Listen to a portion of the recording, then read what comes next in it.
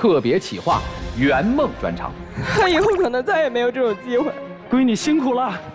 要分清楚什么是梦想，什么是幻想，还能设立梦想，这是积极的。不是所有的梦想我都要支持。我觉得宋大哥这是现在是自私的一个状态。我当时就感觉真好。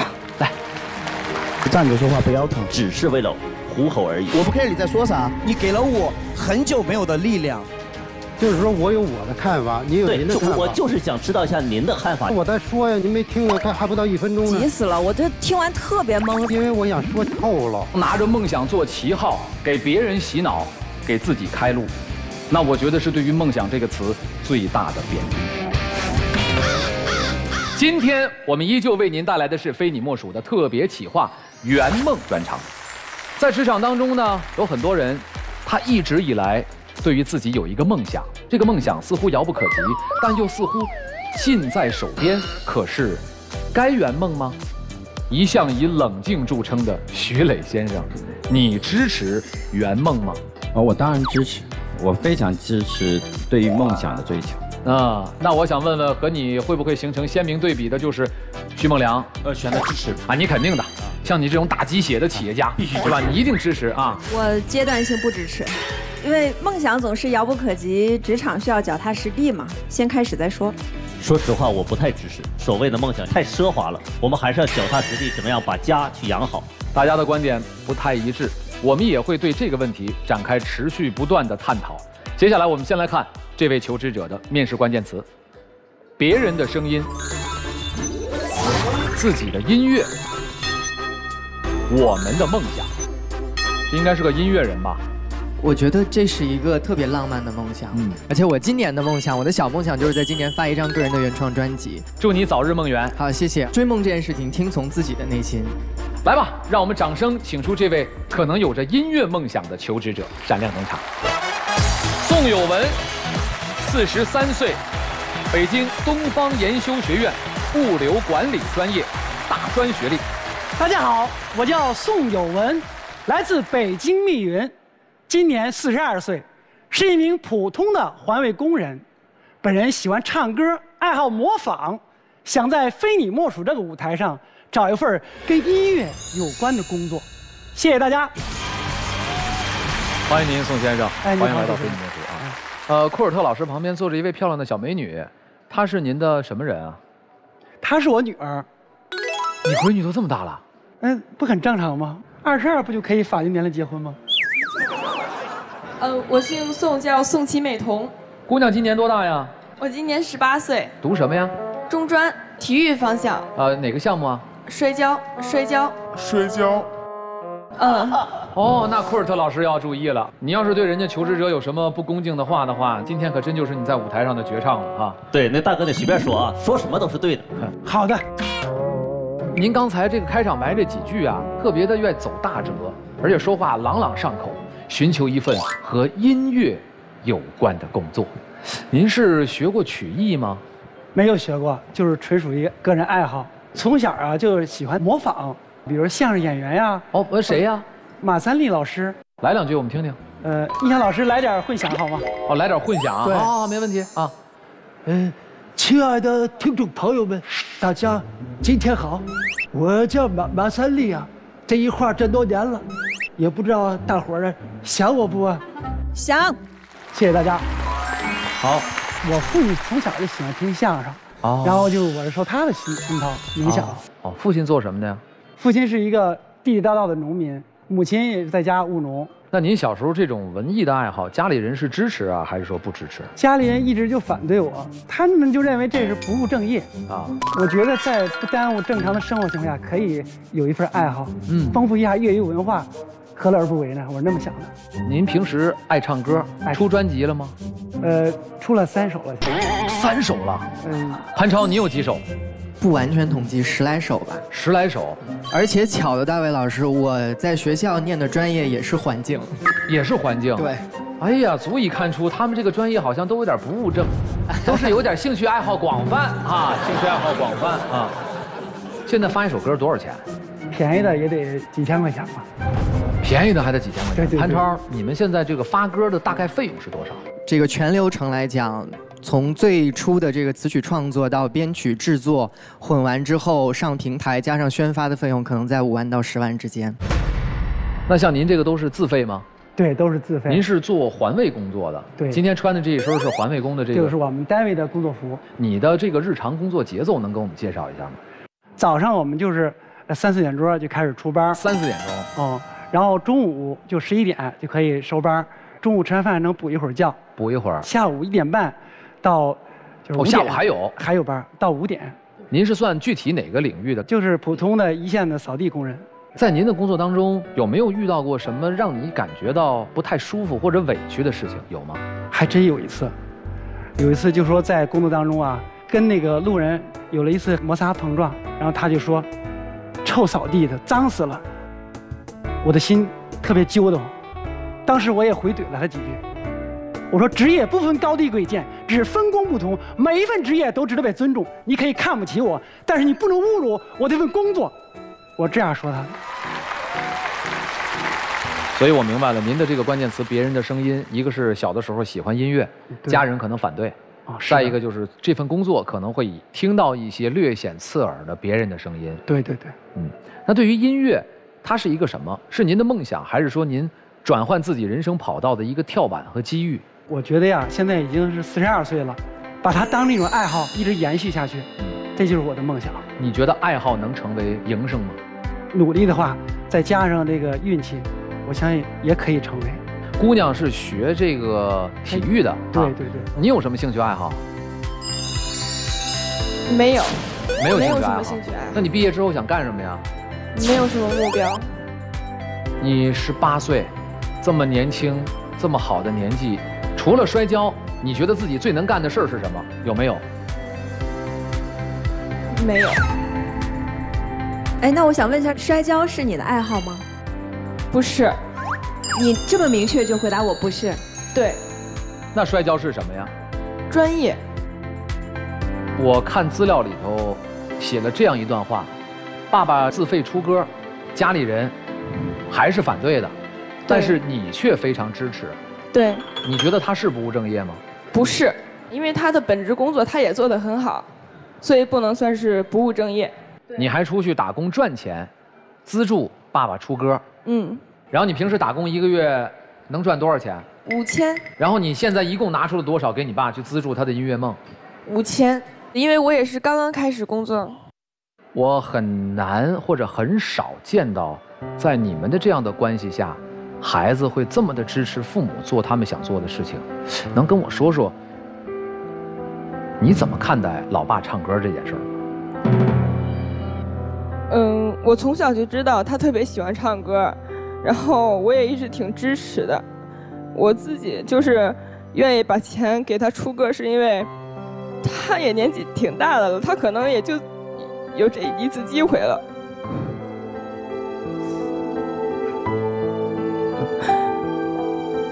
我想让他完成他的梦想，想给他搭建一个就是能够得着的平台。他以后可能再也没有这种机会。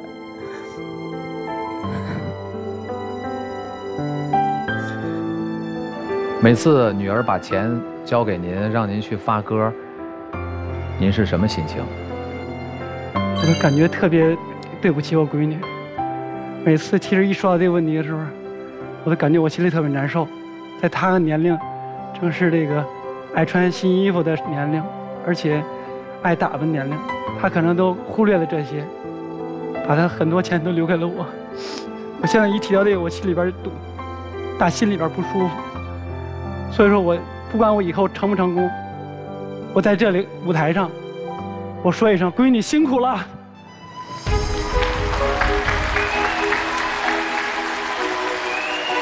呃，会有人觉得您自私吗？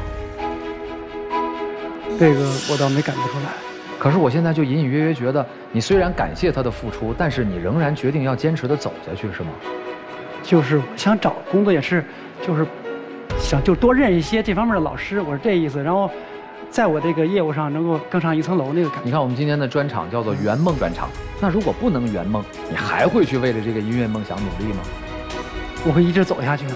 我不为别的，就为我闺女她的付出，不管何去何从，我都要坚持下去。可是你坚持的意义，需要她后续继续不断的给你投钱，然后最后你还是干着环卫工的工作，然后还是把钱花在发哥上。你觉得作为一个父亲，会不会有一种？但是我是只拿一部分钱，还是留一部分的？你会放弃本职工作吗？我暂时不会放弃。徐磊，这个时候，我再回过头来问你，你支持圆梦吗？我依然是支持的。要分清楚什么是梦想，什么是幻想。梦想是通过自己的努力可以实现的，幻想是要靠别人给予的。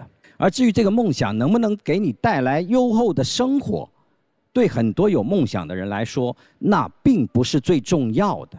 这才是真正的梦想。所以我觉得我在这个大哥身上，我是能看得到这种梦想。其实磊哥，我不能同意你的观点，他还是不务正业。第一，如果你自己的梦想，你用你自己的钱，用你自己的时间，我觉得是没有问题。现在反而是孩子现在拿出钱来供养你这个四十几岁的老爹。第二的话，你去唱歌的时间，如果你哪怕你再去做一个其他的兼职，你是不是能够叫孩子有更多的选择呢？我反对库老师，你这个有点过于偏激。作为一个八零年代的人，他到现在还能为了自己的爱好。还能设立梦想，这不是好事吗？文正，这是积极的。我觉得宋大哥这是现在是自私的一个状态。就是我支持梦想，但是在这位先生身上，我头一次发现我要反思，不是所有的梦想我都要支持。为什么？因为梦想是要有支撑的，其中可能需要经济。他有啊。他不放弃本职工作呀，对呀，他很理性啊。但是他的本职工作无法支撑他的梦想，需要他女儿所以他现在才要转变。他女儿，我不知道为什么他没有梦想。我甚至都，他给我的感觉就是说，他现在阶段，他不敢有他自己的梦想。来，我们问一下美彤，你觉得你爸做这事儿，咱就用一个词儿形容，你觉得老爸靠谱吗？不靠谱。大点声说。不靠谱。为什么？来，宋大哥面向我，好，你大声的说，为什么你觉得你爸不靠谱？因为我之前问过他一个问题，我说你这歌想出到什么时候？就是说，如果你找不到心仪的工作，你这个歌到底想出到什么？他说想出到他五十岁。还有七年。我不能接受。啊，你们家现在靠谁养的？爷爷奶奶不用我爸掏钱，我妈自己也不用我，其实都是自己养自己，也就是我靠着家里人养。那你为什么觉得他不靠谱啊？他应该是一个能撑起家的人。我爷爷奶奶也不用他养，如果出一点点意外，他承担不起。就是说，你觉得他没有兜底的能力？对。你觉得他现在是在自私的逃避，光去做自己的音乐梦，但是没为这个家未来有可能发生的一些风险。去做任何的考虑和准备。对，你现在再回答我一遍，美彤，你觉得你爸自私吗？有一点。宋大哥，从头到现在，我给你两个字，就是自私。梦想的背后是有逻辑的、职业的支撑，它是有规划的。那么你的姑娘今年十八岁。她都不知道她的梦想是什么的时候，还来源自不于你的这个梦想，所谓的假梦想。她爸爸的梦想覆盖了她，让她女儿没有敢有梦想，没有经济来源。他女儿的梦想现在就是幻想着家里别出事儿，因为一旦出了事儿，他爸都兜不住。这个，这个我我完全我理解的对吗？对，我完全不同意。为什么？一个从十八岁正好从未成年到成年那个过程。今天零零后、零五后确实有很多人是没有梦想的，没有梦想的原因，不一定是家庭没有给到足够的支持，而是因为家庭照顾他们太好了，他们没有那个压力，必须在十八岁的时候建立梦想。我认为人有梦想是没有错的，可是他只能是爱好，他不是你的梦想。是的。你跟那女儿哭的，我认为那不叫感动，我一点都不感动，我觉得是他委屈。委屈，对，很委屈。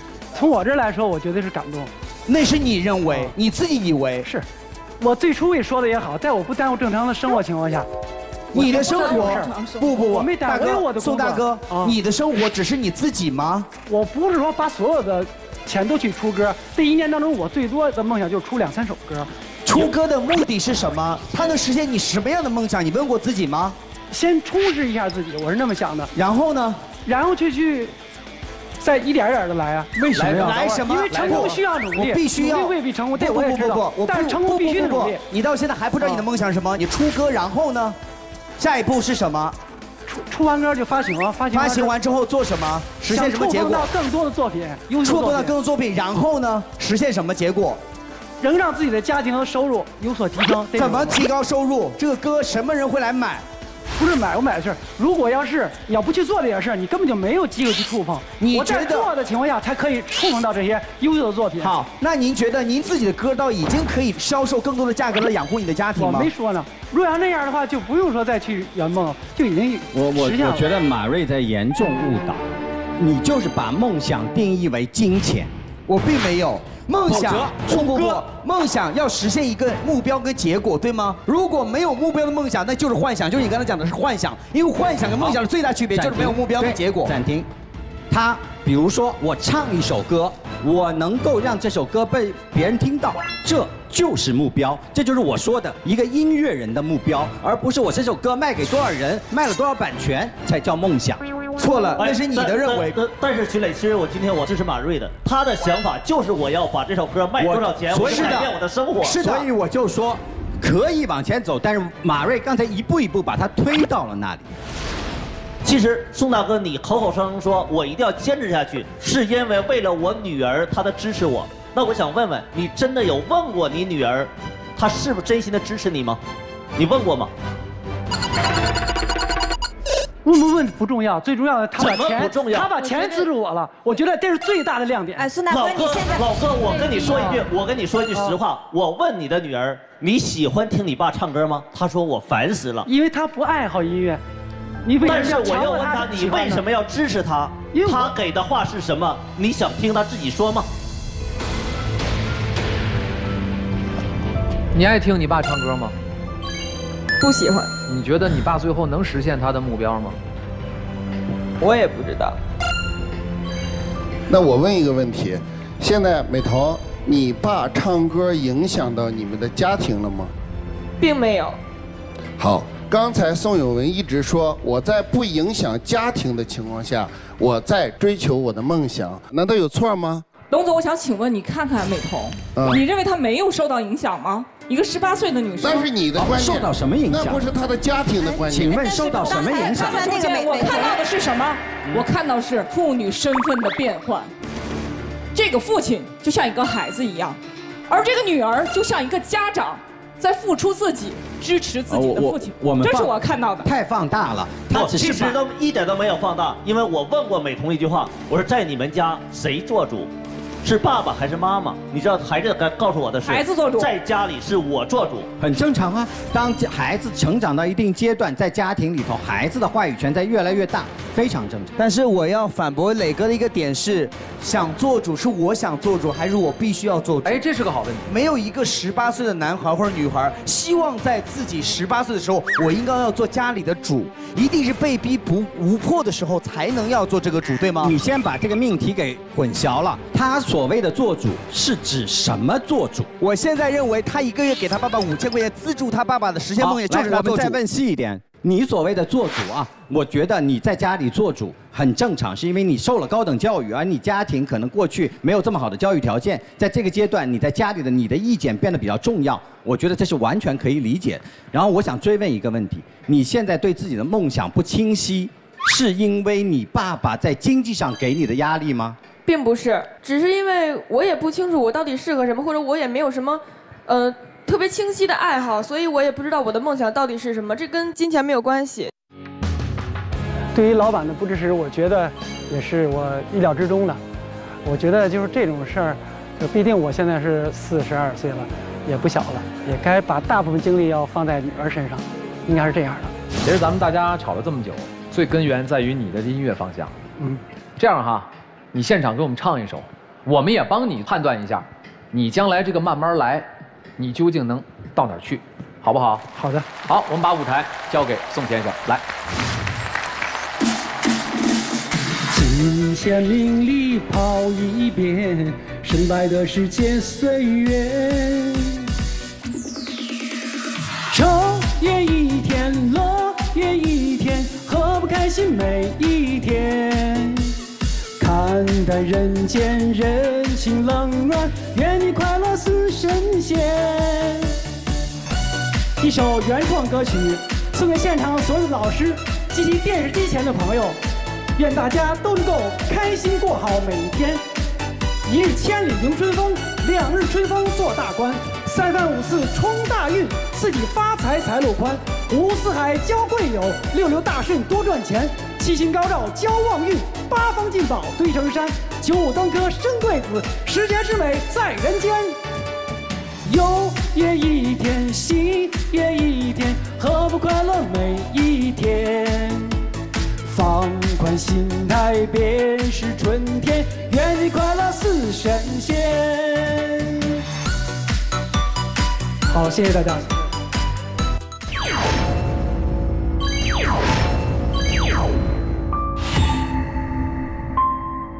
你觉得自己唱的怎么样啊？呃，也没发挥好，就是，呃，睡眠也不大好。我反正个人听起来前半段我觉得没在调上，后半段好多了。我就问各位企业家，你们会给这样的梦想买单吗？会。不会。首先，你们不觉得他刚上来的时候，他声音就不具备唱歌的这样的一个能力吗？我觉得他模仿马三立是没问题的，但是他唱歌是完全，我觉得第我一是模仿唱歌也是没也可以。哦，你还可以模能我没展仿明星。哦没给您展示呢。你展示，你你你你来两嗓子，来两嗓子。其实啊，我过去呀、也学过厨师，我觉得呀，这个唱歌啊跟厨师里边的佐料还有关系。你比如说吧，你要加点醋，它就有点像阿杜。我躲在这里，手握着香槟，想要给你生日的惊喜，就这感觉。然后再放点那个胡椒粉儿，就是这样。你的脸有几分憔悴，你的眼有残留的泪，你的唇美丽却又疲惫。在这个基础上，再喷点芥末油。拥抱这里，Oh my baby，你可知道我无法后退，让我苍白憔悴，伤痕累累。谢谢大家。哦，我觉得这块儿肯定比他原创要有彩一些，但是整体我觉得我还是不会。好我一定会支持他。啊，嗯，因为谈到梦想，就是最开始他说的一句话，就是他父亲当他说他是不务正业的时候，我也同样有有此就是父亲对我的评价，所以我听到之后我极度哽咽。但是我觉得对于唱歌本身这一部分，我我我实话实说啊，您可能不是特别适合。那你为什么还支持？但是从马三立那一段开始，我觉得他是有才的。他现在的话模仿马三立也好，或者他刚才的这个模仿的这些歌手也好，你作为企业家会给他开薪水吗？目前不会，但是不代表他以后不能往后走。哦，我懂了，你这个叫口惠而实不至，就是嘴上我精神上支持你，但是肉体上我很诚实的，我不会雇你，是这个意思吗？大卫老师是这样，因为很多时候是分阶段的。你要告诉我，作为企业家，你给他留岗，你最后拿什么去考核他？你怎么给他定薪酬？因为他今天来到这儿是要找全职的岗位，全职的岗位意味着入职，意味着有底薪，意味着有绩效。如果他达不到你的试用期，三个月都待不满，他回去了以后，环卫工的这个工作没有了，他的家庭怎么办？我因为我们企业没有这样的岗位，那不就得了吗？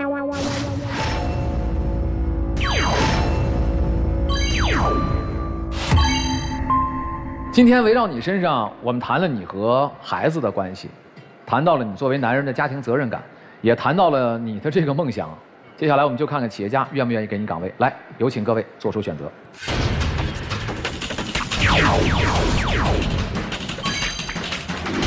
祝贺你，宋有文，还剩一盏灯，进入谈钱不伤感情。有请董文正。国誉智慧集团旗下有文旅项目，有学生的游学营。我给你的岗位是游学营的领队助理，需要不怕苦，需要有些才艺，需要出差，薪资是五千加营补，会远远超过你原来的薪资。工作地点在哪里啊？总部在北京，出差在全国。宋友文，考虑一下，选择国誉集团或者谢谢再见。计时开始。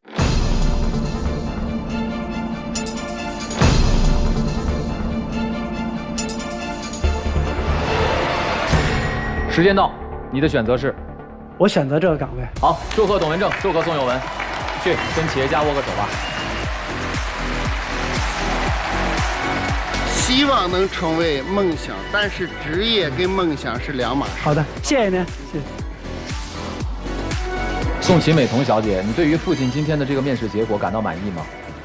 嗯，满意吧。为什么犹豫着回答我的问题呢？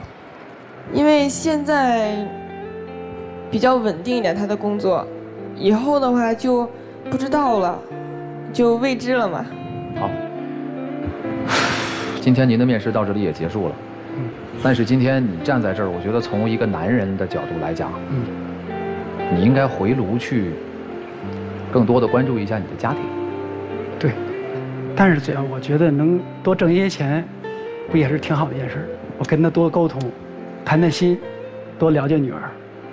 好，感谢你来到我们的节目。好，谢谢大卫老师。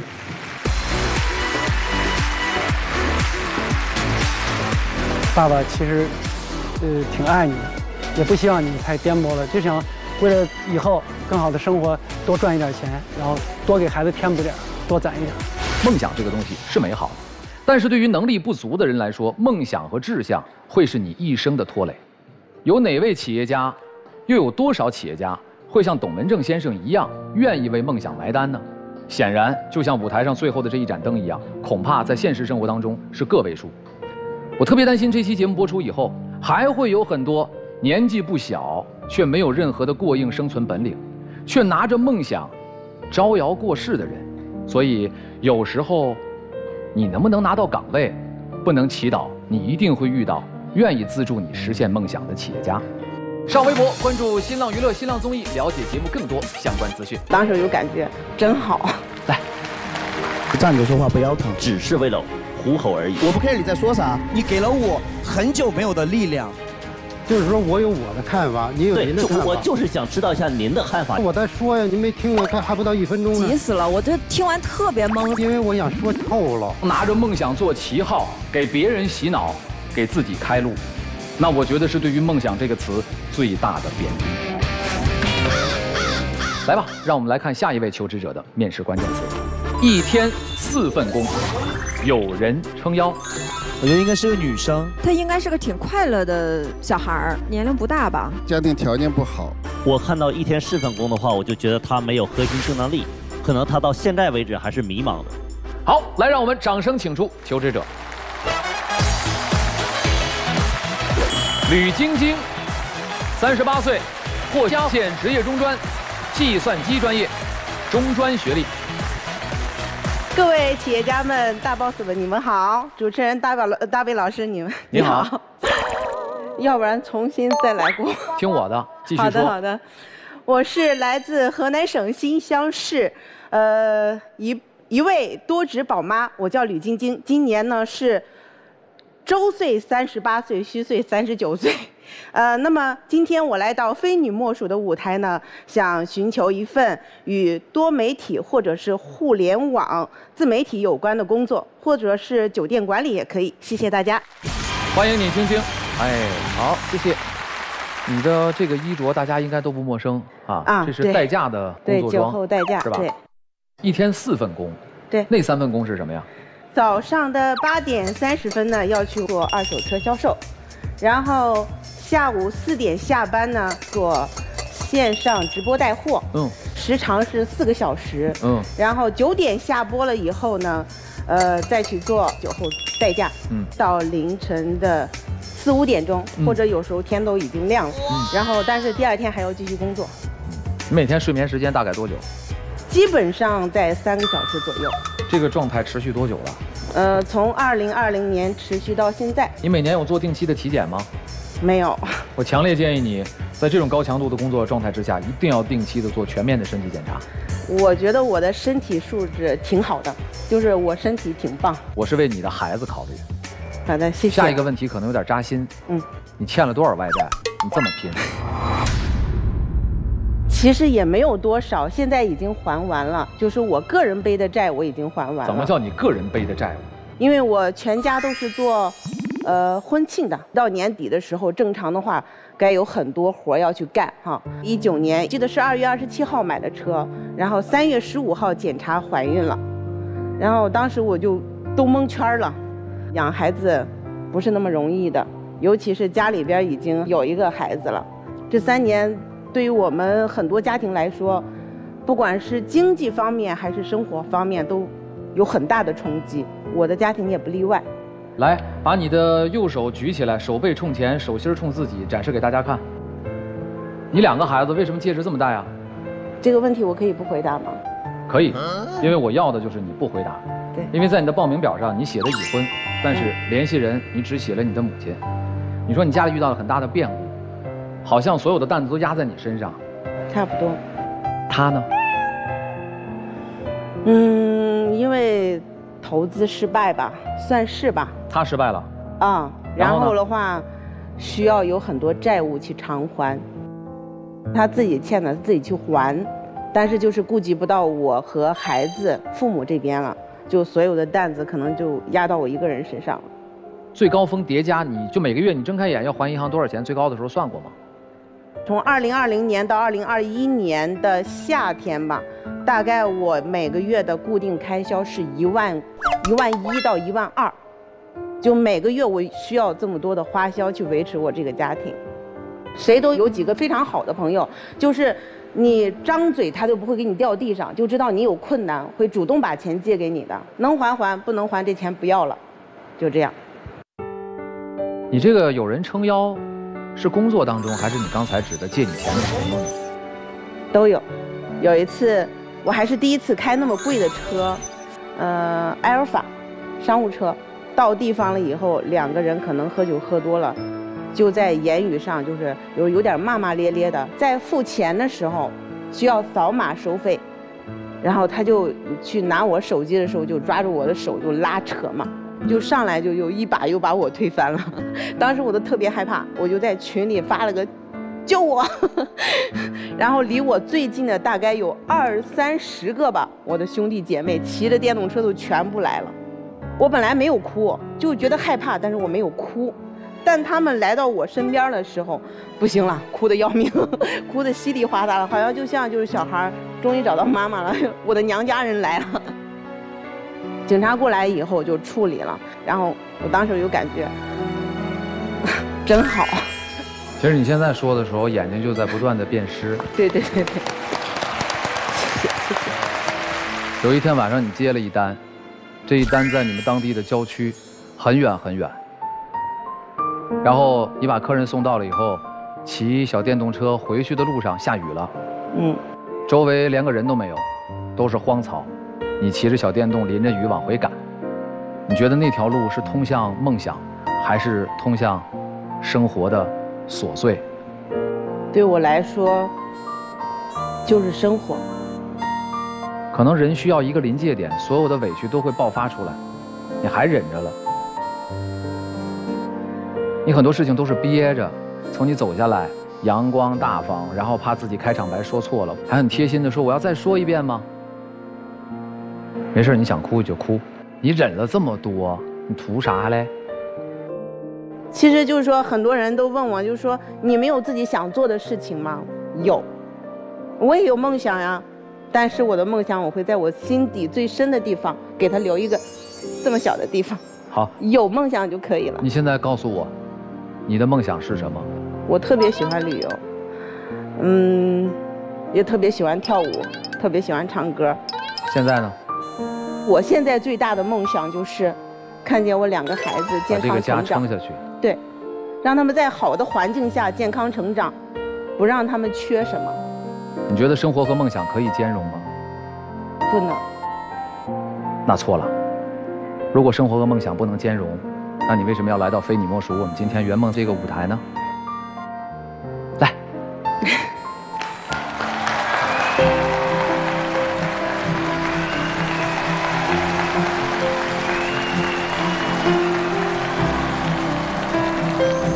哭了啊！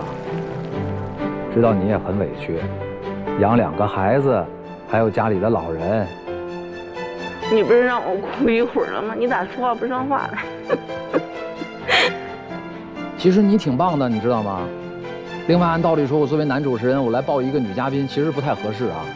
但是我却突然觉得，你比我们很多男性都要强。我觉得我作为老爷们儿，应该给你一个非常坚实的拥抱，给你一种鼓励，给你一种勇气，告诉你，在生活当中，其实不分性别，你是最棒的。不哭了，好不好？谢谢。啊，我的衣服都已经湿了。其实我就想问一句啊，你抱够了没？我抱够了。你久违的吧，久违的抱抱，因为平常可能家人在一起，除了跟孩子拥抱，很少很少跟其他人就拥抱，就是很意外，但是确实很温暖，真的。刚才画面感太强了，好像我觉得我们每个人都是，好像有一种心底的一种情感就就出来了。可能过去的这三十多年里，生活没有加注在你身上太多能够让你圆梦的事情，但是我相信今天你来到这个舞台上，你有这个机会了。谢谢，谢谢。所以刚才我说嘛，生活和梦想其实是可以兼容的。你的经历跟我的经历。如出一辙。你最高一天打几份工啊？六份。都干什么呀？从早上起来了之后啊，是去给新娘子化妆；九十点钟的时候去给学生们上课；六七点的时候去专柜的柜台卖化妆品啊。到了晚上的时候去夜场里面去给别人化妆啊。回到家，然后开始拍短视频。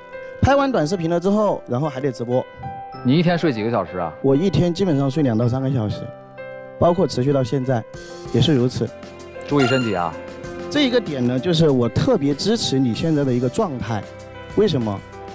就像身边的人去叫你要注意身体、叫你要养生的时候，他们是站着说话不腰疼，因为他们现在有能力、有资格说这句话。但是当我们处于那样的一个时期的时候，我们要去改变我们当下的一些阶段的一个时候，一定要相信自己。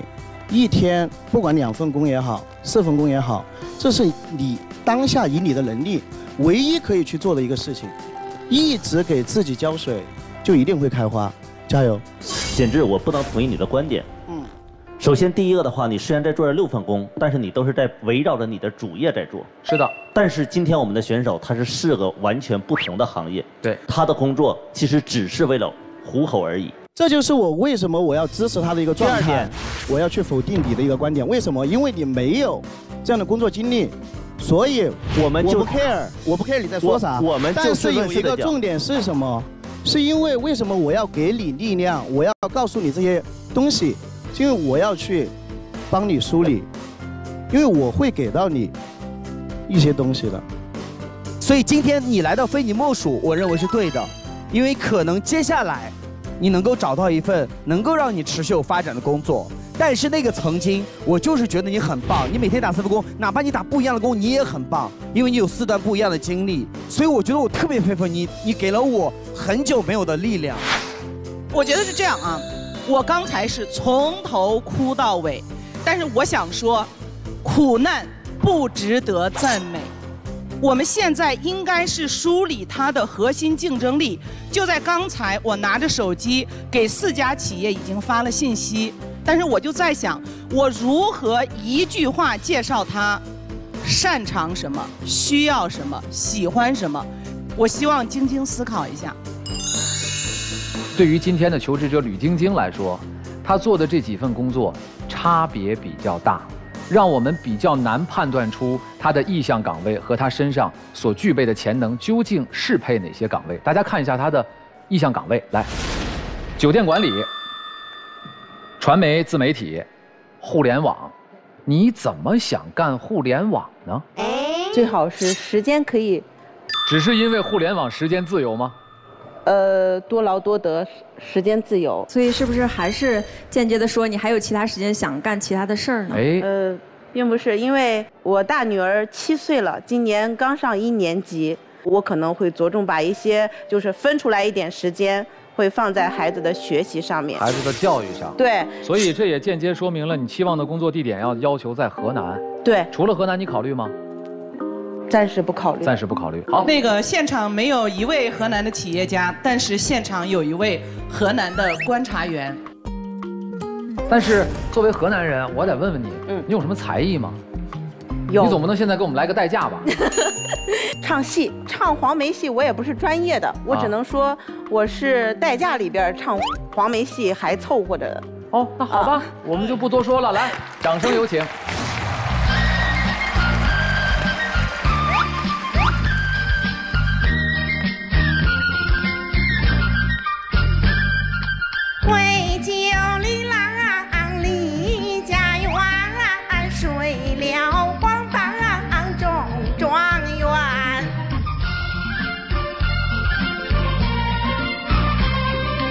中状元着红袍，帽上宫花好啊啊，好新鲜呐、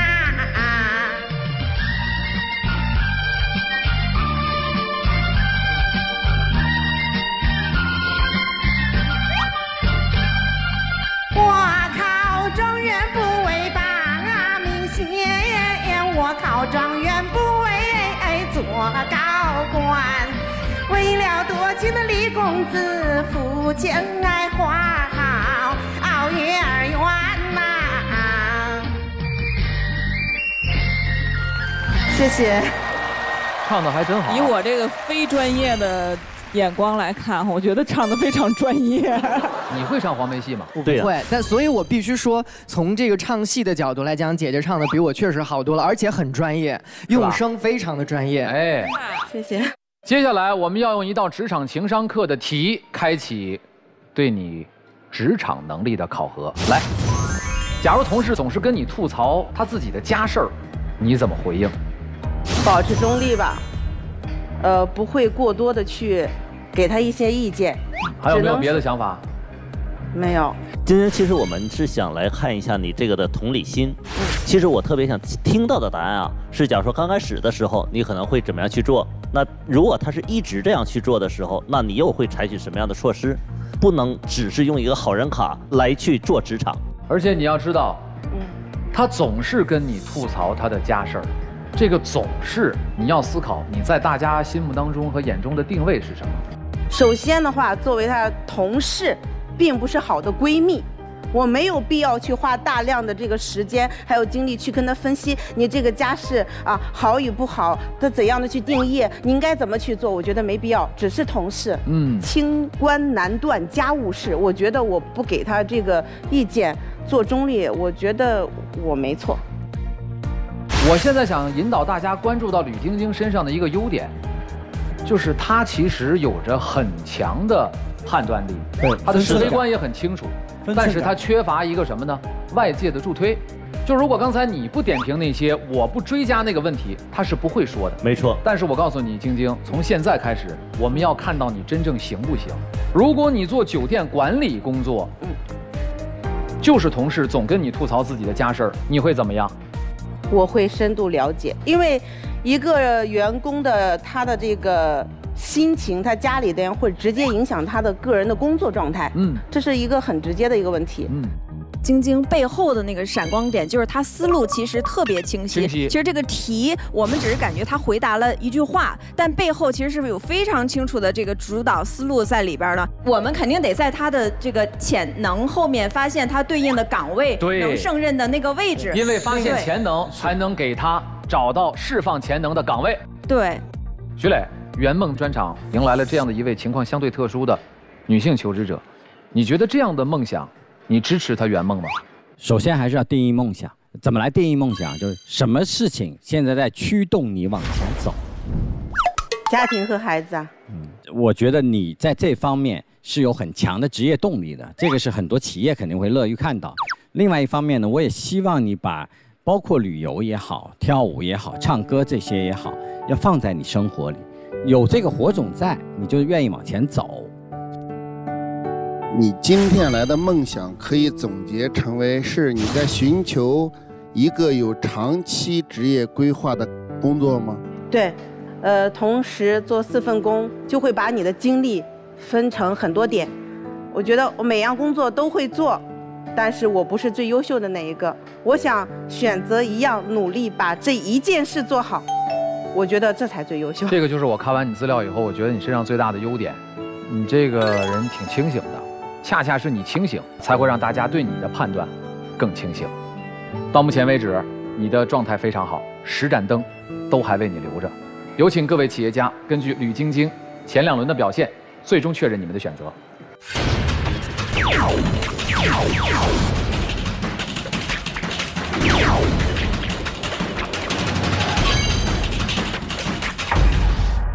祝贺你，晶晶，还剩下六盏灯，进入到今天的最后环节，谈钱不伤感情。那我给你提供的岗位呢是销售，分线上线下，底薪是五千加，但是呢会有提成，在我们这儿你可以不用打四份工了，一份就可以了。谢谢谢谢。八岁传媒给你的岗位呢是副播，先以副播为切入口，从而呢再去进入做主播，底薪呢是四千加百分之一的提成，工作地点呢在广州。给您的岗位是首饰制作，给您的薪酬呢是四千加，可以解决住宿。国誉集团呃文旅板块旗下有民宿基地，工作地点在开封，给你的岗位是储备店长，工资是八千加。国誉集团是做教育的，有自己的幼儿园和学校，可以帮你解决孩子的教育问题。谢谢谢谢。好，谢谢。马瑞，对你的岗位是直播助理，然后呢，你的薪酬是五千五百加。我觉得今天你给了大家很多力量，不管你选不选我，入不入职，在节目结束之后，我都会送你一千块钱以上的我们修图师整个系列的全部的产品送给你，而且谢谢你来到非你莫属的舞台。谢谢马瑞，谢谢。晶晶啊，给你提供一个店总的一个身份，确实我们河南现在没有店，但是你真的把我打动了。然后呢，两个月的哈尔滨试岗，然后试岗成功之后，你在哪里，我把店给你开到哪里。然后，然后八千加的这个底薪加上绩效，加上你的封侯，我觉得每年的年薪收入在十五万以上。谢谢。多好啊！如果你最后你选了你要去开店，以后我去吃，你得让我免费啊！你今天这个局面是我帮你争取来的。打折必须打折，打粉最幸福。说半天还打折，你都不说给我来个免单卡啊！气死我了。但是这样的员工是我们需要的。对，看看最后又帮你们挖掘到一个优点，永远以企业的利益为重啊！来吧，晶晶，这回你就不必再骑着小单车走在雨夜的郊外道路上了，向着光明，向着美好生活前进，在六盏灯当中，只留下两盏，请出发。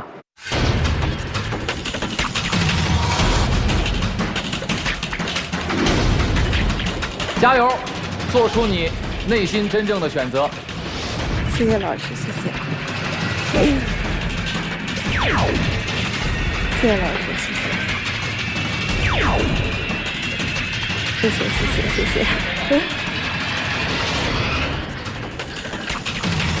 谢谢老师。好。哦。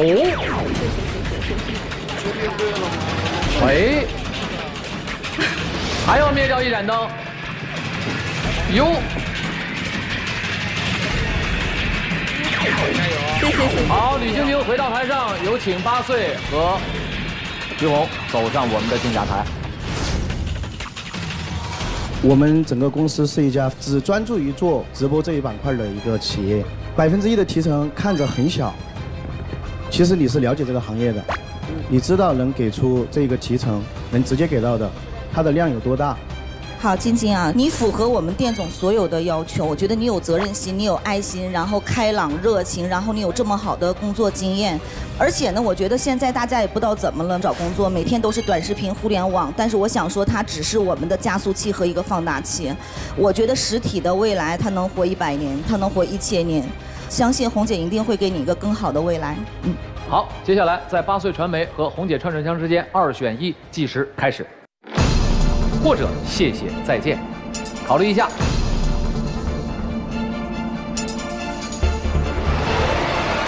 好，吕晶晶，你的选择是红姐。祝贺吕晶晶，也祝贺徐红，感谢八岁，来和二位企业家握个手吧，去吧。抱抱，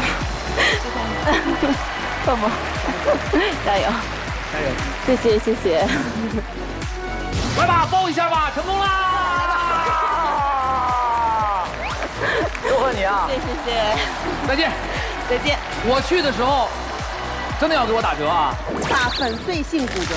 好，打库尔特粉碎性骨折，就别打我骨折了。再见。好，再见，也祝我们非你莫属越来越好。再见。就是我感觉红姐不像是画大饼的人，刚才那么诚恳的跟我说，我觉得可能这点打动了我，会更多一点。我之所以就是说我能这么坚强的去工作，去担任整个家庭的这个重担，我觉得我的妈妈给了我很大的支撑。妈，你辛苦了。呃，虽然以前我小时候可废气，这那会儿弄闺女上电视了，可给你争光了吧？我爱你。好开心啊！对我真的挺替吕晶晶高兴的。其实高兴的点不仅仅在于她找到了一份适合她的工作，最高兴的是在于大家对于这样一个脚踏实地的圆梦者给予了莫大的支持。当红姐说要把这个店，她在哪儿，红姐把店开在哪儿，其实我是想对红姐说句话：你不管开在哪儿，我肯定永远是你身后忠实的支持者，因为就在我家门口，我没理由让这个店开得不好。那姐呀，你一个人也 吃不多少。对，你以后再吃多了的话，下一步就应该是那个健康有益去帮你啊。最直接的，这个店开店的时候，你入一半股进去，投点资，我觉得挺好。百分百入股。好，谢谢，加油！下一位求职者马上就要看你的了。接下来先来看他的关键词，有头脑。怎么把别人评价我的话放到这上面了呢？突然对他有点担心。我们舞台上经常有啊高开低走的这种惯例。我特别怕看到这样形容自己的人，就是这个世界我在中间，然后你们都在我边上，就是这种感觉，我反正挺担心的。对对对，我看到这六个字，心中他就是有一个想法，多希望他是真的呀。那肯定是真的，你这个话让我很莫名其妙。来，你要不信是不是真的？让我们掌声有请求职者闪亮登场。王丽，四十九岁，北京轻工业学院工业外贸专业大专学历。各位企业家好，主持人好，我叫王丽，我来自北京房山，呃，我的工作是园林绿化，我今年四十九岁，我的求职意向是教育研发。没了吗？没了。好，欢迎王丽大哥。今天与其说是圆梦专场，倒不如说是制服专场。您这一身是咱们园林绿化工的日常工服吗？呃，是日常工服。我怎么感觉你们就要穿这身衣服在草丛中的话，更难分辨你们呢？呃，这说实话，我们要与自然和谐，与自然和谐融为一体，是吗？哎是。您今天来找教育研发的岗位，是有头脑、大智慧，是不是？您身边的朋友们对您的评价？我没太在意别人对我的评价，但是我认为漂亮就应该这样，活出自我。呃但是我自己认为我的这个没问题的，我的大智慧，我挺有信心。那您是怎么个有头脑呢？这是不是得有一些实际的例子跟我们分享啊？呃，就是说我们在这个园林工作，其中有一项工作是这个打药，给这树木啊，就是说病虫害防治。嗯，我们那个打药车呢，打这药的时候，它经过这个路段的时候，一这个说这是人行横道，不需要打了，但是它还会继续打，它浪费很多药，所以我自己把这个问题解决了。大屏幕上这是您画的这个示意图是吗？呃，对，我们加一个球阀，目的是什么呢？我不想打的时候我一关，就关上了，就不打了。我再想打的时候再一开开，哎，又开继续打了。但是呢，这个打药机里边的压力会在升高，安装一个安全阀，这个压力就释放掉了。啊，您这个参加什么创新类的大赛拿奖吗？啊，没有，去年就是说刚那个研研研制出来啊。现在大规模应用了吗？没有，就是说还准备跟领导再进一步这个磋商吧。这是好事儿啊！王大哥，这是没推广，还是一个都还没装，还是装了一个了？呃，坦诚的讲，一个都没装。一个都没装，那这产品其实还没验证过，是吧？验证过就是一个理论上可以，但是实际上咱也不知道。验证过了，验证过了。当时我亲手给他弄的。实现您设计的初衷了吗？坦诚的讲，没有呢。所以说这也是我来。没有的原因是什么？是您的设计有问题，还是说工艺上有瓶颈没办法突破？成功了。你不说没成功吗？成功了，这很简单，这个就是说很简单，成功了。是我听错了吗？他是说成功了，但是没有标准化量产，是这个意思吧？呃，不用量产，这只不过就是一改进，给这个好得改进一下。一个是球阀，一个是安全阀，一个是。那今天怎么没带来呢？您带来装点药冲我喷一喷，给我消消毒什么的。那我这车也他妈得大，太大了，哦，不是说一个小家伙。所以我就想起来，我们企业家徐磊先生有一句话，就你这个东西吧，有没有付诸实践？决定着我们对它的判断，因为这个定论决定着您的关键词有头脑。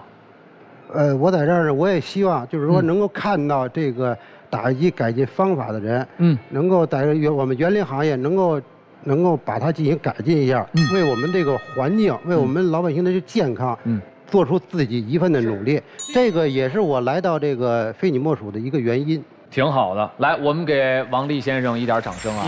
挺无私的把自己这个创造呈现给了大家。对，我觉得这个如果加一个关键词的话，我们能看到叫大情怀，这很棒。但是王丽先生，我还有一个问题想问您哈：零八年到一一年做库管，公司搬家离职了；一一年到一二年做库管，公司裁员了；一三年至今在园林公司，月薪三千七，现在月薪有变化吗？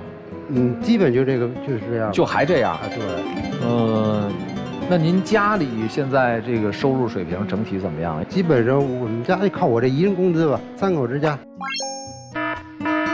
三口之家靠三千七的工资？我还有母亲，我母亲主要是由我大哥这个在养着。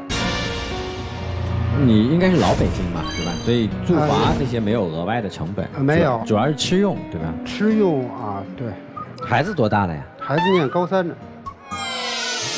您爱人有工作吗？没有，家庭主妇，全职。他这这个腰疼，就是干不了什么活行，没关系，我跟您解释一下，王大哥为什么问您这个问题啊？大家注意看，王丽今天来的期望薪酬是一万，您现在三千七，您让他们给您一万，而且是教育研发这个岗位，我就得替人家问一句，您这六千三的差价。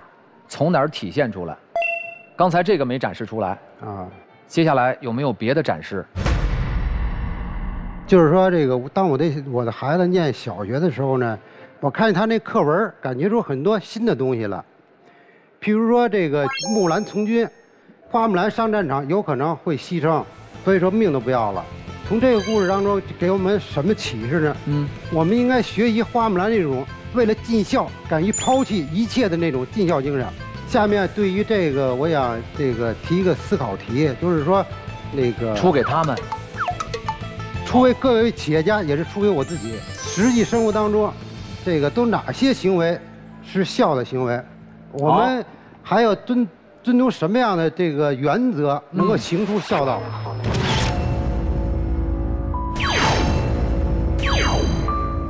我这一扭身才发现灭了三盏灯了，那就先从这灭灯的三个人开始。你们先回答一下求职者的问题，来，先从徐红开始。我觉得顺就是孝，就像前两天我妈妈说一句话，然后我就特别愧疚。因为我前一段时间特别忙，我飞来飞去，然后他后来就跟我讲了一次，他说的你能不能下飞机之后你给我发个微信，告诉我你安全落地了。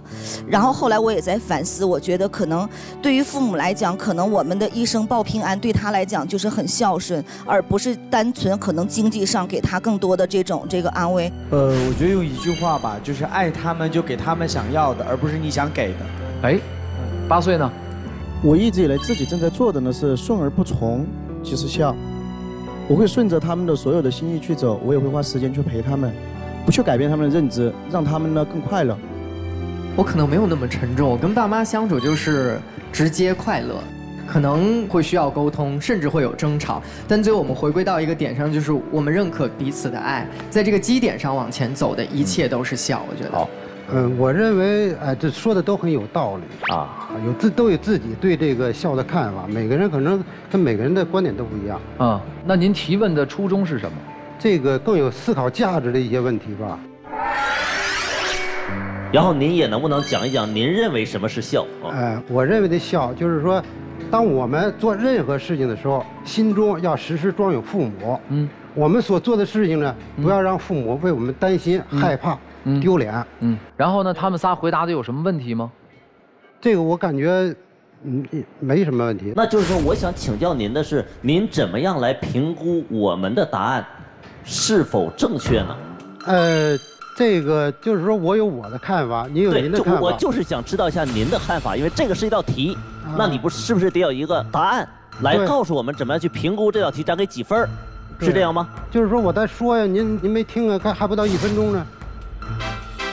我认为很多人对这个，呃，我自己认为我对这个问题理解的还是还是说稍微就是说怎么说这明白一，就是说明白一些吧王。大哥，我我我要再不打断你，我就急死了。我这听完特别懵。刚才聊的那个事儿呢，是说为什么三千七能养这么一家子人？您就说到《木兰从军》，因为看女儿这个书，然后就到了孝这个话题。我就想把这个孝让大家都知道怎么样做才能行出孝来，怎么样做不是孝。哎，所以您是不是还是在说大智慧这件事儿？我对我们就想梳理一条线，是您在说哎，刚才我大智慧这件事儿对呀、这个孝的问题我已经梳理开了，就是说、哦我们做事情的时候呢，要时时装有父母，不让让父母担心害怕。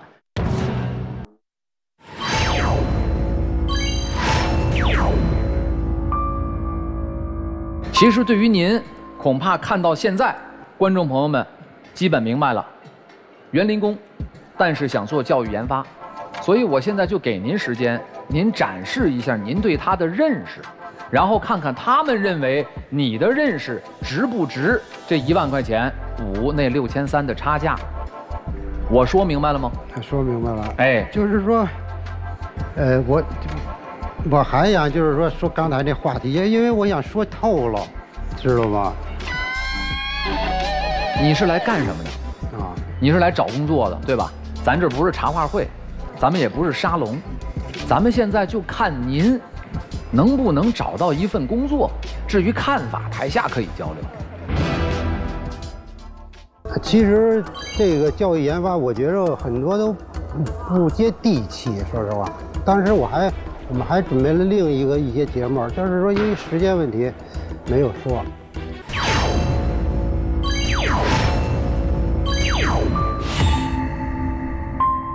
我灭灯就是因为我觉得我说话他听不见，就是你永远没有办法跟一个听不见你声音的人是你永远叫不醒一个装睡的人。装睡对。修身齐家治国平天下。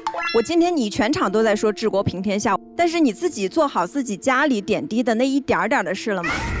工资也没有在一个岗位给它延伸下去，就在想去平天下的事儿，拿了一堆大道理和大词儿，试图影响我们，还让我们来回答很多问题。我觉得跟着这个对话跟下去，我自己的框架就会就完全的混乱掉，所以我就直接就灭灯了。王先生，其实呢，您的出发点我已我们已经听明白了。实际上，您想表达自己对于教育的一些认识和认知。您知道您说的教育研发具体做什么吗？好问题。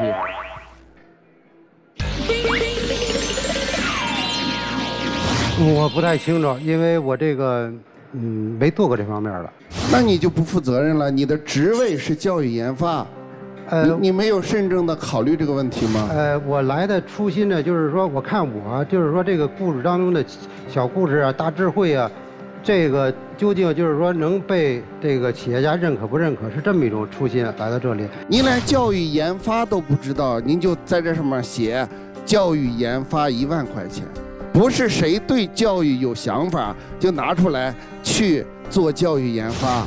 就是说，我觉着吧，您可能说的也对啊，用大众人的眼光来衡量人，这也对。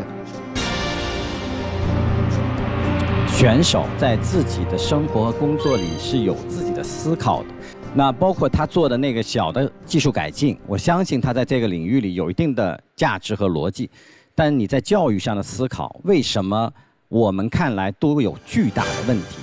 是因为你一直在信息茧房里，就是因为你接触到的人群太窄了，导致你的思考觉得已经可以做教育，而这点它肯定不是梦想。甚至连幻想都不算，其实是你的一个梦，因为你接触到的人群太窄了，导致你的思考觉得已经可以做教育，而这点它肯定不是梦想，甚至连幻想都不算，其实是你的一个梦。上午谈的那个词儿最好，这是一种妄想，自我的认知的一种妄想，很没意义。其实我建议回到自己的岗位上，好好的研究，争取把三千七升到四千七，让家里的生活好一些，那样的意义更大。大家打开他的报名表，看一下生活或工作中印象最深刻的事情。在我女儿很小的时候，有一次哭了，我忘了什么原因，我就对她说：“丫头，你越哭越难看，越笑越漂亮。”结果孩子马上就笑起来了。这件事儿其实我觉得能够展现出你作为父亲，你很温情的一面。但是我看完这段话以后，我隐隐约约觉得哪儿不对，两个字，叫主观。也许您的这些东西对待自己的女儿和她的孩子没问题，但是走出这扇门，很多孩子的家长把他们的孩子交给了您，去学习您研发的教育的课程，您要对这些家长和孩子的一生负责。您今天的表现，别说六千三，您能不能干这活儿？结果说明一切，观众心中自有公论。我觉得您来，这是您的权利，您通过微信公号报的名。哎，对，这是您的权利，但是我也要说一句，我们今天是圆梦专场，大家在社会上行走，靠的是本事和能力，要靠社会认可，永远都不能拿着梦想做旗号，给别人洗脑，给自己开路。那我觉得是对于“梦想”这个词最大的贬低。有些梦可圆，但就像月亮一样，有些梦不可圆。啊，您说这个月亮，刚才就说这问题吧。刚才其实我在我准备当中是有这个月亮这问题的，就是说初心，这个就是咱普通人的初心是什么呢？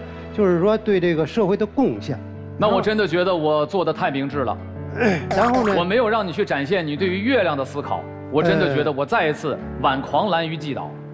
大老师，我觉得刚才那句话你说我没想起来，你叫不请装睡的人，我觉得我没说错，他不是装睡，他真的听不见，没听见。感谢您来到我们的节目，再见。谢谢各位企业家，谢谢主持人。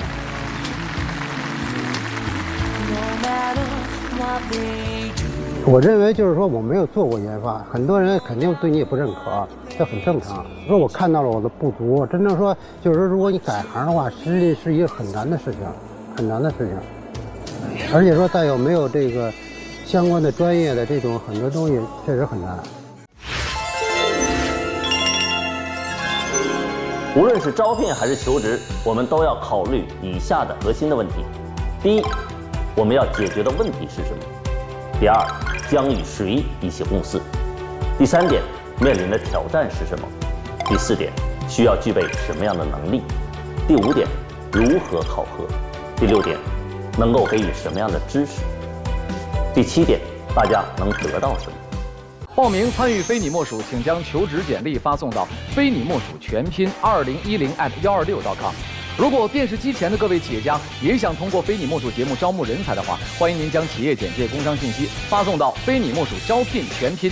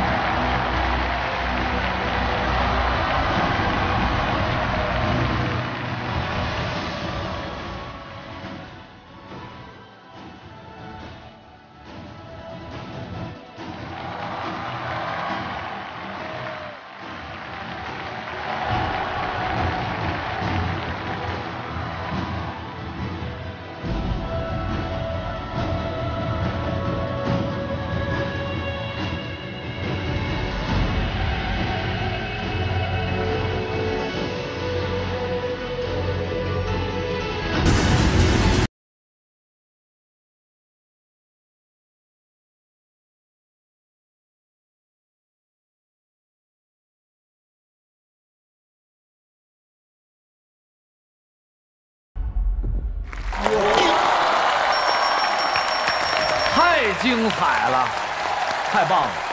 呃，先跟大家做一个简单的自我介绍吧。嗯，大家好，我叫谢思，来自云南省昆明市。好，欢迎你，谢思。先请教一下，这个是个什么样的表演？叫什么名字？空中绸吊。空中绸吊。对，它是舞蹈和空中杂技还有在一起。空中瑜伽。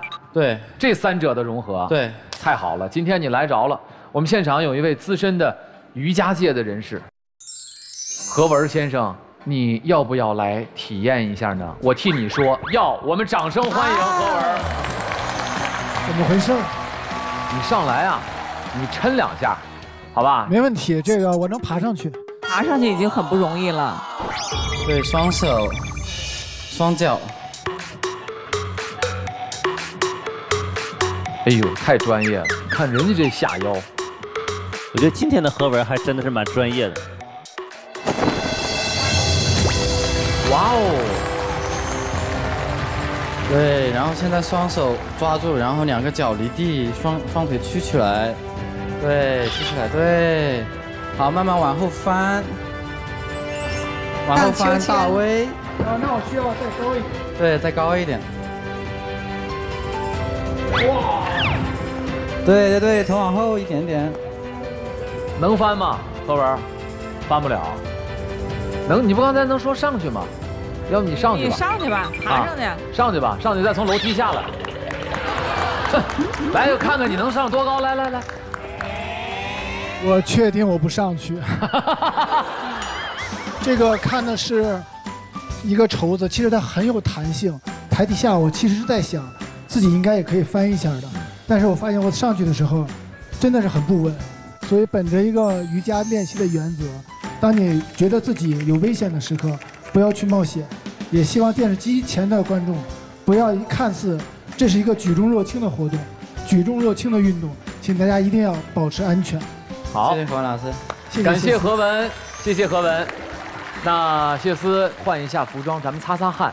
接下来我们开始你今天的面试，好吗？好，我们再次把掌声送给谢思，谢谢。谢谢谢思，辛苦了哈。嗯，你刚才表演的这叫高空绸吊啊，空中瑜伽、空舞和杂技的结对，合。三个项目合在一起的，这三项你学过哪一项啊？都会，都会，都会。你这有家里的这个基因吗？比如说父母从事这些领域的工作？没没有啊？那你怎么就玩到这个呢？是从昆明实习出来，来到广东，然后学的这个东西。你们有没有注意看他这报名表上有一个重要转折？你曾经最开始一七年你是学钢管舞出身的，对，钢管舞跟这个空中舞是有很大区别的。钢管舞也好，空中瑜伽也好，我觉得这种技法都是非常好的，向大家展示了他们不断的练习、不断的内化的一个过程。所以我特别期待大家都去体验一下空中瑜伽或者钢管舞，非常好玩。哎，啊，何文在讲的时候，我就看着孟良的眼神，这样看着何文。孟良心动了啊特别邀请孟良、亚普一起，咱们仨一起去体验空中瑜伽。其实我就是刚才想问谢思，那个像我这种，我是准备要健身减减肥，就是我我应该是从哪个，比方说钢管舞开始，还是从瑜伽开始，还是从这个空中这个好问题，亚甫问了个好问题，你钢管舞能达到强身健体，比如说运动减肥的目的吗？对，完全可以。那你觉得亚辅他这个适合练钢管舞吗？有没有一些入门的条件啊？学这个？呃，没有入门的条件，其实跟身材或者是高矮胖瘦是没有太大的关系的，我觉得。他真的是可以学的，是吗？真的可以。我补充一个点啊，因为我跳舞也很多年哈，很业余的那种。你哦你也是钢管舞钢管没有没有，但是我试过很多舞种啊。我想问一个，把问题拉回到专业的水准啊，就是说我是啊不不，你你先稍等，什么意思？我们聊的都不专业吗？对，不太专业啊啊就一看都是咱们都不太懂哈。啊我是真正跳过舞的。哎呦然后呢，我也是从瑜伽，然后一路跳到这个跳舞这边的。有一个非常专业的点，就是在于专业和业余中间的区分度。其实一个人他是有天赋的上限的，所以我今天想问一下，说当时你从这个钢管舞又转到高空瑜伽，两个是不是你都有天赋，还是说你都没有天赋，但是你为了什么原因去做了这个选择？天赋的话，我感觉对于我来说应该是没有任何天赋的，只能说百分之九十九的努力加百分之一的天赋吧。我觉得那个谢思他能拿到亚洲冠哦，军，他的亚洲冠军了是吗？对对，我觉得他的付出应该是吧，应该是很多的啊。就是其实每一种舞它都有一个卡点，就钢管舞和那个空中瑜伽，它本身的技能点是不太一样的。嗯就说一个人其实挺难在每个领域都做到专业的。所以我想再往前追一下，当初你去上课的时候，你的老师是怎么怎么告诉你你可以？好问题，是因为我看了他的比赛拿了冠军之后，然后又看了他的故事，然后都是一步一步慢慢成长的，然后我觉得我也可以。你当时的肌肉条件大概是什么水平呢？当时十个俯卧撑都做不了吧？你是通过练出来的。对，你除了练钢管舞，我追一个问题，你他会有你专业的肌肉的训练吗？有。就一般，比方说像亚辅这种情况，他如果只是为了健身，他其实有很多选项。对但那个时候你告诉他，你可以练钢钢管舞，但是他是可以，并不是最优选项。是。就就因为在你在这个点上的这个表述吧，就让我们觉得你是不是为了卖自己的课？我专业得性稍微欠缺一点。对啊我得替谢思说一句，他并不是说他只练钢管舞，他只是提供了一种更有趣的健身方式，然后不断的调整，找到自己最喜欢的。也许今天是钢管舞，也许明天是空中瑜伽，也许后天是深蹲，找到他喜欢的方式，不断的激发他的兴趣点，达到他最后减肥瘦身的目的。瑜伽它和健身和舞蹈基本都是大众化的，学了舞蹈之后，气质，还有身体上的肢体语言啊，身体啊都会有变化的，还可以治治疗颈椎病啊、腰肌劳损这些。各位说了这么多哈，我们面试是有才艺展示的。来，谢思，那接下来的才艺展示，给我们来一段钢管舞表演，好不好？好，好，我们掌声欢迎。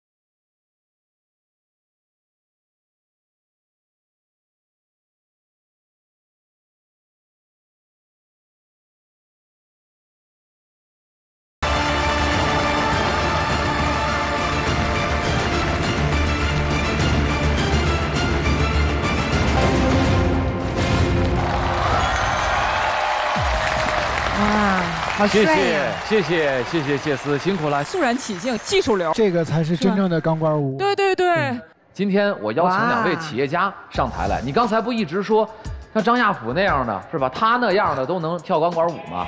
可以。我们今天就让钢管舞这项运动蒙羞，不是，我们就让钢管舞这项运动迎接新的挑战。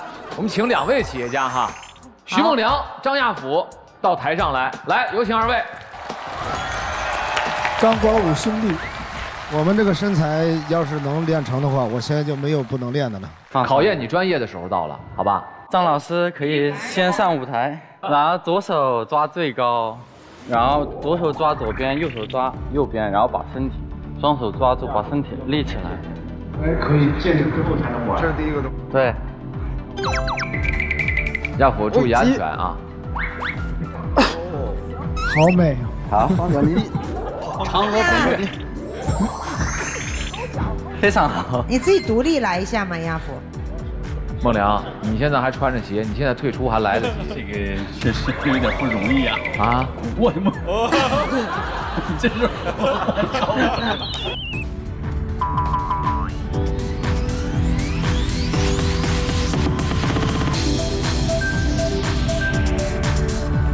挺胸，抬头。挺好的，我觉得他这种执着的精来，神。我们掌声感谢张亚福啊，他尽力了，他尽力了。头往后，挺胸，收腹，对。哎呀，哎，这个小猪佩奇不错。这不是挂炉烤鸭吗？小猪佩奇。第二个站钢管的左侧，右手多了一个点踢，右手在上，右脚。左脚、右脚，啊然后左手、左脚同时上去，哇塞吸腿，你优美一点，孟良。对，吸腿，对对对。哇，哎，还是很不错的，哇，好美有点感觉。我也要挑战一下。亚福我们给张亚福点掌声鼓励啊，精神可嘉啊，来，勇气可嘉，来。你看多多讲究，还得有一个上台儿的哇。塞，二师兄，二师兄就喜欢我们这个馆。哇，哎哎哎哎，鼓掌，不错啊，哎，不错啊。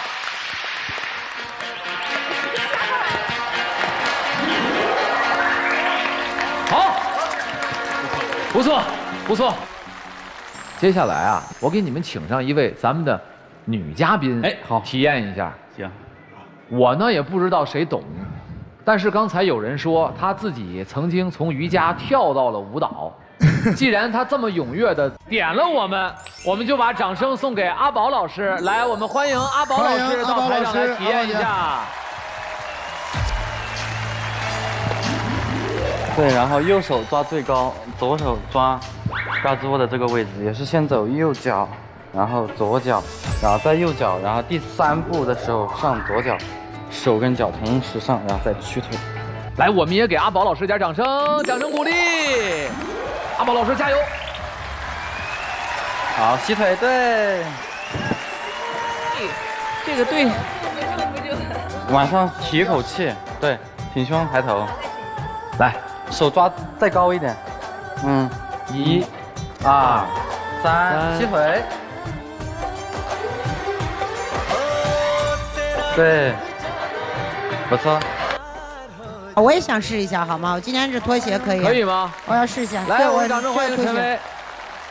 看你这么帅，我就让你教一下我。来吧，上吧就喜欢陈薇这种性格啊。对，啊走右、左、右，双脚吸，对，对，哎，还行，真的很美。哎，陈薇还真不错啊。大卫老师，我想试一下在上面拉一下陈薇老师，飞一圈可以吗？你等会儿，等会儿，你要在上面拉一下陈薇老师。啊对飞一这个有，稍等，我必须要问一下，这个有危险吗？不会把我飞出去吧？不会，你确定你可以吗？可以。你愿意挑战一下吗？我可以啊，我这配合度这么高。再说帅哥这么帅，企业家都这么勇敢，掌声在哪里？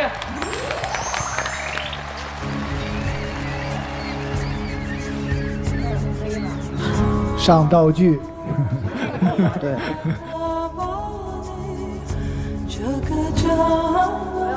哇，你就走慢一点，一、二、三、四，起脚，对。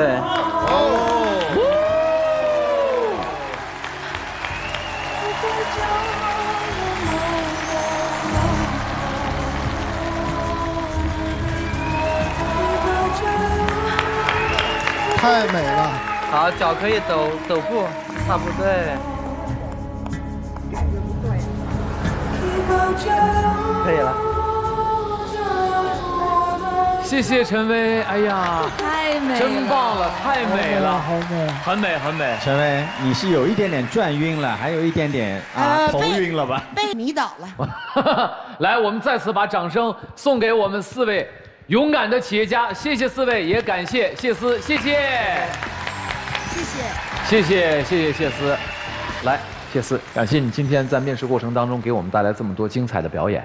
接下来，我们来看看八位企业家最终会如何选择。有请八位企业家确认你们的选择。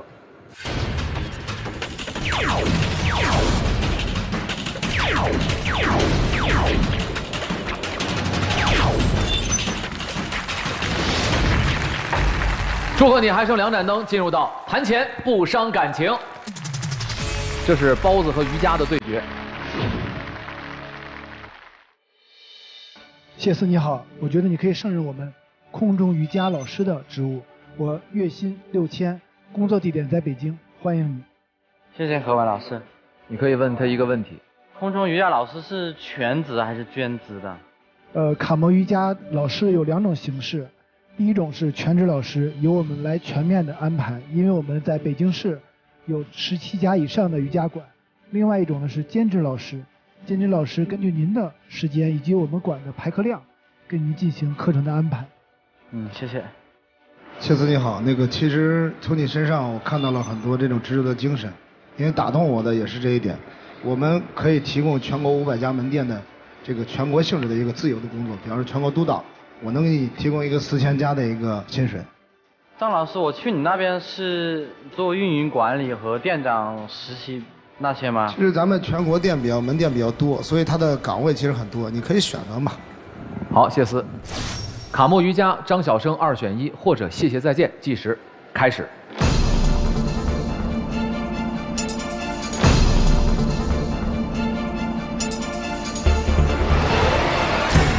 好，谢思，告诉我们大家你最后的选择是什么？好，谢思，告诉我们大家你最后的选择是什么？卡莫瑜伽。祝贺何文，祝毫无贺谢思。悬念，感谢张亚甫，来和二位企业家握个手吧。这是赢得最没有悬念的一次吧？谢谢，谢谢何老师，谢谢，真好。祝贺你加入卡莫瑜伽这个大家庭，希望你在那儿能够学到更专业的知识，造福更多的瑜伽或者空舞或者是钢管舞的爱好者。感谢你来到我们的节目，再见，再见，谢谢大卫老师。收获就是进一步挑战自己和成长吧。每一次上节目或者是去新的舞台上去，都会对未来有憧憬，很有。报名参与非你莫属，请将求职简历发送到非你莫属全拼二零一零 at 幺二六 com。如果电视机前的各位企业家也想通过非你莫属节目招募人才的话，欢迎您将企业简介、工商信息发送到非你莫属招聘全拼 at